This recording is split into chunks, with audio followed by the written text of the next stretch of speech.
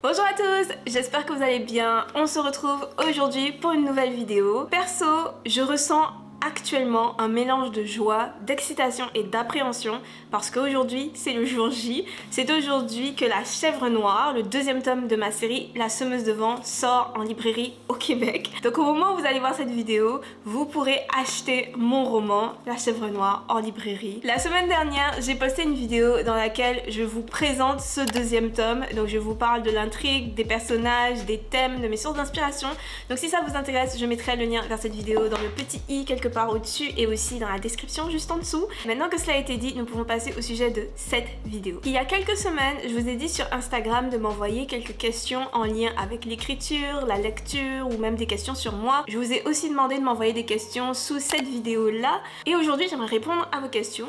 Donc voilà ce que je propose pour aujourd'hui. Dans la première partie de cette vidéo, je vais répondre à vos questions, donc faire une FAQ classique. Et dans la deuxième partie de cette vidéo, j'aimerais faire le tag écriture. C'est un tag que je veux faire depuis très longtemps je me suis dit que ça allait compléter en fait la partie FAQ de cette vidéo. Commençons donc par les questions que vous m'avez envoyées et au passage merci à toutes les personnes qui ont pris le temps de m'envoyer une question, vraiment merci beaucoup. Donc euh, première question, quelle partie a été la plus difficile à écrire dans le tome 2 C'est une question que j'ai reçue sur Instagram. Alors le tome 2, La chèvre noire qui sort aujourd'hui en librairie, euh, quelle a été la partie la plus difficile à écrire? Je dirais les scènes d'action, les scènes ou plutôt les scènes de combat. Dans ce tome 2, il y a beaucoup plus de scènes d'action et de scènes de combat que dans le tome 1. C'est difficile pour moi d'écrire ce genre de scène et il y en a plusieurs dans le tome 2. Mais je pense que je m'en suis quand même bien sortie. Mon éditrice m'a beaucoup aidé pour les scènes d'action, donc pour les positions des personnages, les termes aussi à utiliser. Euh, donc voilà. Deuxième question, combien de temps est-ce que le tome 2 a pris à écrire? Le tome 1 et le tome 2 étaient en fait un seul et même livre. Donc à la base, quand j'ai écrit le tome 1 de La Semeuse de Vent, c'était ces deux tomes-là réunis et ça faisait à peu près cette épaisseur-là. Maintenant, c'est deux livres distincts. Donc c'est ma maison d'édition qui a suggéré qu'on sépare les deux livres. J'en ai déjà parlé dans plusieurs autres vidéos. C'était principalement à cause de la taille, parce que ma maison d'édition n'a pas l'habitude de publier des livres aussi gros. Pour que ça reste un prix abordable pour les gens aussi, c'était mieux de publier deux livres distincts. J'ai écrit ces deux livres ensemble. Je dirais que l'écriture de cette version-là du premier tome de La Semeuse de Vent m'a pris environ 9 mois. Il se pourrait que ce soit pas ça, mais je pense que ça m'a pris environ 9 mois parce que ça c'était à peu près 160 000 mots je dirais. Donc je pense que c'est à peu près le temps que ça m'a pris pour écrire donc la première version du tome 1 qui était en fait le tome 1 et le tome 2 de La Semeuse de Vente. Troisième question, quel est le titre du tome 3 C'est bien sûr un secret pour l'instant, je ne peux pas vous le révéler. Ce que je peux vous dire, c'est que le titre a changé.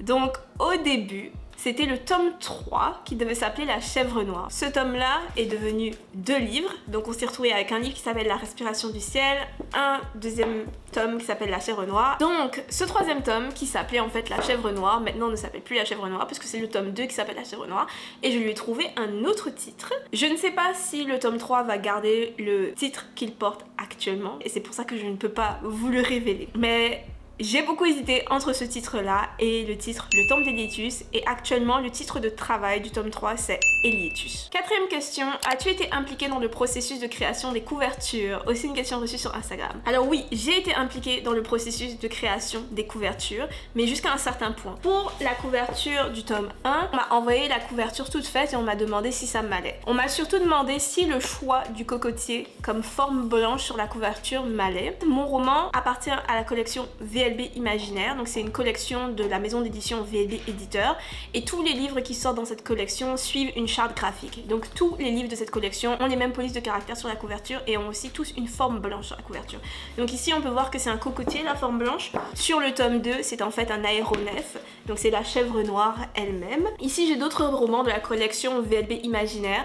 Donc j'ai le roman de Sosokol, Les lignes invisibles. Donc on voit ici une autre forme blanche. Donc ça c'est le stade olympique de Montréal. Ici on a la dernière sortie de VLB Imaginaire et c'est le pacte de minuit de CL Polk et on voit sur la couverture donc une fleur. Pour la respiration du ciel, donc le tome 1 de la semeuse de vent, mes éditeurs et moi on hésitait entre euh, le cocotier et aussi une fleur de frangipanier parce que Astra, l'un des personnages de l'histoire, a un médaillon sur lequel il y a une fleur de frangipanier mais finalement la forme de la fleur de frangipanier c'était pas très beau sur la couverture donc c'est pour ça qu'on a finalement décidé d'y aller avec le cocotier. Maintenant pour le deuxième tome, j'ai donner plus de suggestions. On m'a envoyé donc une première version, j'étais déjà super contente avec les couleurs, je voulais du bleu pour ce euh, deuxième tome, donc j'étais contente avec le fait qu'il y ait beaucoup de bleu sur la couverture, mais par contre la forme blanche c'était un navire pirate classique, donc un brick. Je trouvais que ça illustrait pas super bien les aéronefs de mon roman, j'avais peur que ça donne une image fausse en fait des aéronefs au lecteur. Donc ce que j'ai fait c'est que j'ai envoyé au graphiste des images représentant des aéronefs dont je me suis inspirée pour imaginer ceux de euh, la semeuse de vent. Mes suggestions ont été prises en compte,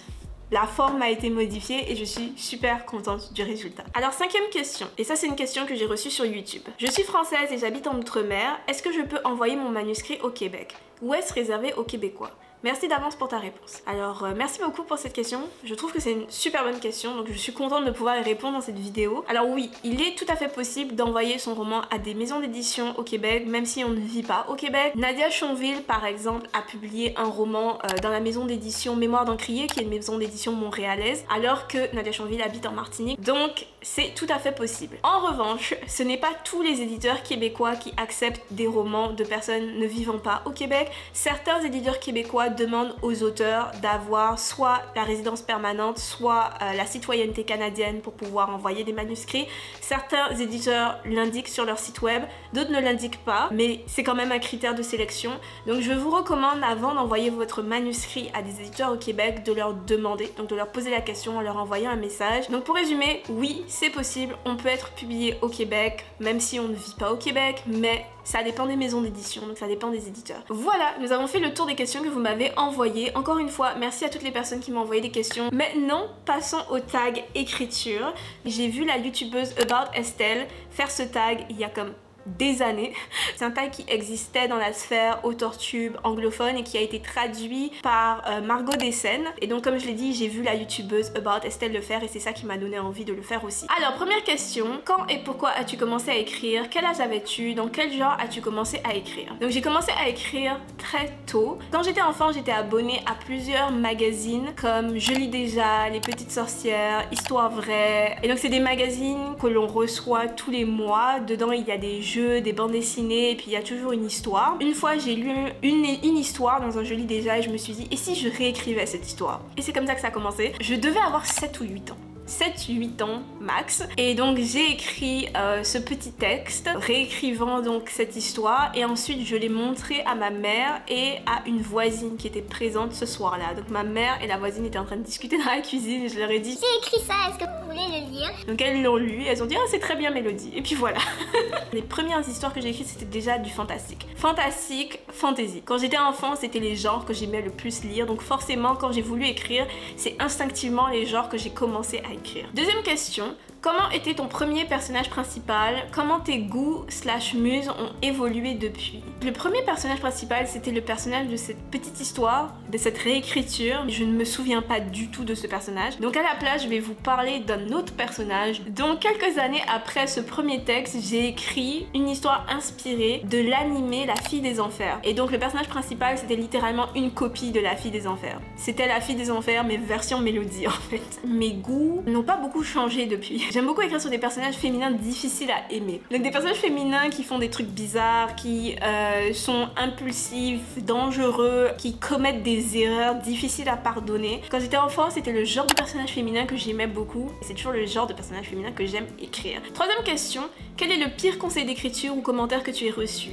À quoi ressemblait ton premier échec ou ta première perte de confiance? Pendant très longtemps, je publiais des fanfictions sur internet. Donc j'ai reçu beaucoup de conseils d'écriture, j'ai lu beaucoup de conseils d'écriture, mais je ne me souviens pas du pire conseil d'écriture que j'ai lu parce que les conseils que je n'aimais pas, ben je ne les prenais juste pas en compte et je les oubliais tout de suite après les avoir lus. Mais sinon, j'ai jamais vraiment, vraiment vécu de perte de confiance ou d'échec brutal en écriture. Quatrième question, quelle partie de l'écriture ou du processus d'écriture est ta plus grande force? Je dirais que l'une de mes plus grandes forces en écriture, c'est le fait de montrer. Donc c'est l'écriture de premier jet et le fait de montrer. Généralement, mes premiers jets sont très propres et j'écris d'une manière très euh, visuel, c'est aussi quelque chose qu'on m'a beaucoup dit. Cinquième question, quelle partie de l'écriture ou du processus d'écriture est ta plus grande faiblesse? La relecture et la correction. Quand j'écris quelque chose, quand je finis quelque chose, dans mon esprit c'est fini. Je réussis généralement à écrire des premiers jets assez propres parce que je n'ai pas envie de revenir dessus.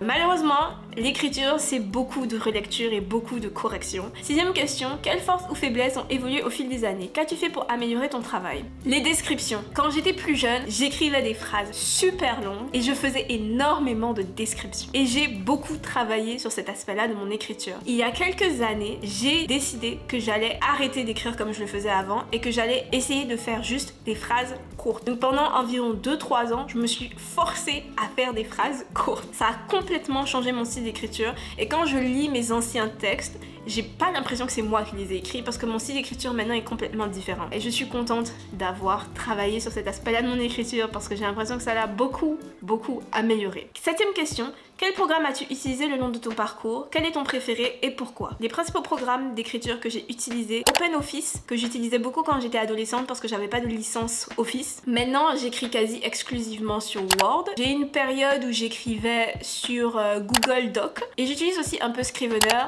mais ça dépend de l'histoire. Quand tu te mets comme ça à côté de moi, on se ressemble beaucoup. Mais tout le monde dit qu'on se ressemble. C'est faux. Huitième question. Tous les Batman ont leur Robin. Quel est ton compagnon préféré pour câliner ou, ou consommer durant l'écriture? Mon compagnon préféré d'écriture, c'est le thé. J'ai toujours une petite tasse de thé à côté de moi quand j'écris qui devient froide parce que je l'oublie pendant que je suis en train d'écrire. Neuvième question. Quand tu as commencé l'écriture, quel niveau de succès pensais-tu avoir? Est-ce que là où tu en es actuellement est sur la voie de cet objectif? Sinon, comment ton rêve a évolué au fil des ans? Quand j'ai commencé à écrire, comme vous le savez maintenant, j'étais très jeune, donc je ne visais pas du tout le succès.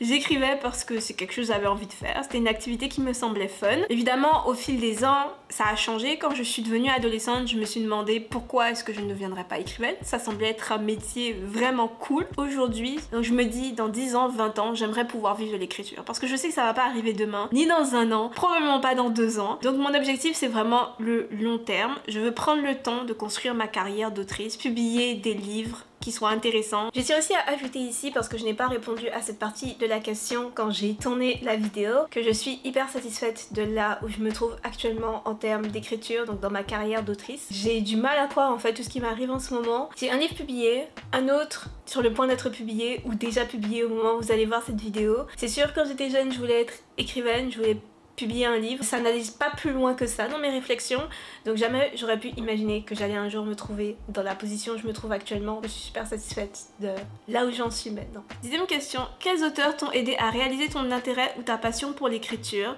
Quels livres t'ont aidé à façonner ton style d'écriture, ton genre de prédilection ou tes goûts? J'ai lu À la croisée des mondes et Le château de Hurle pendant la même période, et ces deux livres-là, je dirais, c'est des livres qui m'ont vraiment donné une idée du genre d'histoire que je voulais écrire. Et euh, la série de livres qui a vraiment marqué ma vie, c'est euh, L'Assassin Royal de Robin Hood. Onzième question, la comparaison est dangereuse. Comment la comparaison entre ton parcours d'auteur et celui des autres a-t-il démantelé ou aidé le tien? Un conseil pour surmonter cela. Comparison is a thief of joy. Je pense que c'est ça l'expression en anglais. Quand j'étais jeune et que j'écrivais des fanfictions, je me comparais beaucoup aux gros auteurs, ceux qui étaient super populaires, qui avaient beaucoup de commentaires, beaucoup de vues sur leurs histoires, sur les différentes plateformes où on publiait des fanfictions à l'époque. Et quand je voyais que mes histoires ne recevaient pas autant d'attention du public, ça me démoralisait beaucoup. Et donc j'ai abandonné. J'ai abandonné beaucoup d'histoires à cause de ça. Et aussi le fait que quand j'étais jeune, j'avais énormément de mal à terminer ce que je commençais. Donc jusqu'à mes 16 ans environ, je n'ai jamais terminé une seule histoire. J'ai dû lire quelque part sur internet, il y a plusieurs années, quelqu'un disant que se comparer aux autres finalement, ça n'apporte pas grand chose. J'ai pris ce conseil à cœur. Si vous comparez aux autres vous apporte un sentiment négatif, ça vous décourage par rapport à l'écriture, essayez de vous dire que vous n'êtes pas dans la même position que les autres personnes. Ces personnes-là vivent une vie complètement différente de la vôtre, ont des circonstances différentes des vôtres. La comparaison n'est pas possible. C'est une comparaison injuste de base, vous n'êtes pas la même personne. Je sais que c'est plus facile à dire qu'à faire. Il m'a fallu plusieurs années pour vraiment adopter cette vision des choses. Mais euh, franchement, sur le long terme, c'est super bénéfique. Douzième question. En repensant à tes premiers projets, quel genre as-tu appris à aimer et à détester écrire? Le genre que j'ai appris à aimer écrire, je dirais, c'est la fantasy, la science-fiction, le fantastique. Plus je les écris et plus j'aime les écrire. C'est comme ça. Treizième question. Quelles sont les excuses les plus courantes que tu te donnes à toi-même ou les forces extérieures que tu as surmontées qui t'empêchent ou t'ont empêché d'écrire? Est-ce qu'il y a eu des forces extérieures qui m'ont empêché d'écrire? Les excuses les plus courantes que je me donne à moi-même. Je vais dire Oh, je suis trop fatiguée pour écrire aujourd'hui. Ça c'est quelque chose que vous, avez, que vous avez sans doute beaucoup entendu dans mes vlogs. Comment je fais pour les surmonter? Parfois il faut juste que je me fasse violence. L'histoire ne va pas s'écrire toute seule. Ça c'est quelque chose que je me dis beaucoup quand j'ai pas envie. Et ça en général ça fonctionne. Ça suffit à me motiver parce que j'ai abandonné tellement d'histoires que j'ai ensuite regretté de ne pas avoir continué d'écrire. Quatorzième et dernière question. Quand tu as commencé, as-tu pensé à utiliser un nom de plume? Si tu utilises un nom de plume actuellement, pourquoi en avoir un? Sinon, pourquoi as-tu pris ton vrai nom? Quand j'ai commencé, je voulais utiliser un nom de plume. D'ailleurs, cette chaîne YouTube portait mon nom de plume jusqu'à il y a environ deux ans. Donc je l'ai changé il y a deux ans pour mon vrai nom. Parce qu'à ce moment-là, j'ai décidé que j'allais publier avec mon vrai nom. Avoir ma carte d'auteur d'un côté et mon autre vie de l'autre côté. Donc j'aimais cette séparation. Quand j'ai signé avec VLV Éditeur et que j'ai parlé donc à mes éditeurs, je leur ai demandé si c'était mieux d'avoir un nom de plume ou pas selon eux. À ce moment-là, mon éditrice, c'était l'autrice Geneviève Blouin et elle m'a répondu qu'elle elle a choisi son vrai nom et qu'elle ne l'a jamais regretté. Et à ce moment-là, je commençais vraiment à me demander si je voulais utiliser un nom de plume. Je me demandais si c'était pas une manière pour moi de ne pas y aller à fond. Donc je me suis dit, je veux faire de l'écriture ma carrière, donc je ne vois pas pourquoi je séparerais ma vie de tous les jours de l'écriture. Et donc j'ai décidé d'y aller avec mon nom, mon vrai nom. Donc je m'appelle vraiment Mélodie Joseph. Donc voilà, le tag est terminé. Si vous avez envie de répondre à l'une des questions auxquelles j'ai répondu dans les commentaires, n'hésitez pas à le faire. Ça me fera un plaisir de vous lire. Voilà, merci d'avoir regardé cette vidéo jusqu'ici. J'espère qu'elle vous aura plu. Si c'est le cas, pensez à la liker. On se retrouve la semaine prochaine pour une autre vidéo. À très vite tout le monde, portez-vous bien. Bye